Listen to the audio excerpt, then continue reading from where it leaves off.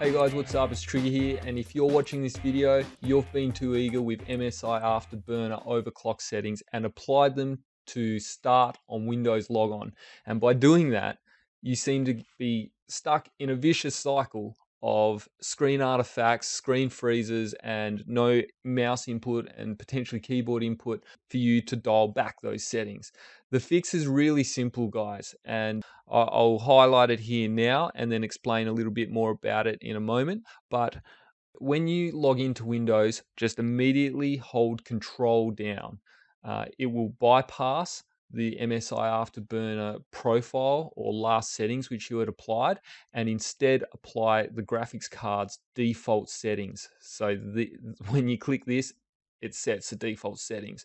So you can see here a somewhat eager overclock that might be causing screen artifacts for me. I've I've saved it. I've got this button here lit up so it's going to start MSI Afterburner and it's going to apply my profile as soon as I log in, but then I find it's freezing my screen.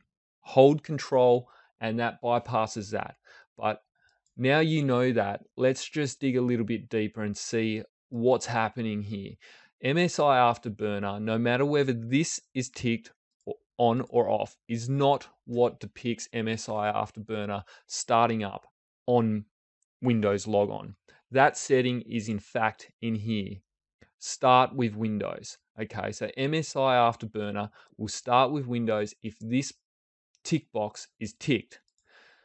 Your profiles that you set or your overclock which you set here will automatically apply if you tick this box or turn this red. It depends on the theme you have, but this is a startup. And it says right here when we when we hover over, allows applying the current voltage, clock, and fan control settings at Windows startup. So, whatever you last had. So, it's not wise to have that on if you've got really over the top overclocks. Just have it off and get into a habit of turning it on. Okay. Or know that if you do have it on all the time, if you run into trouble, the next time you boot Windows, hold control down until MSI Afterburner has started. Um, and that will, of course, give you your stock clock settings.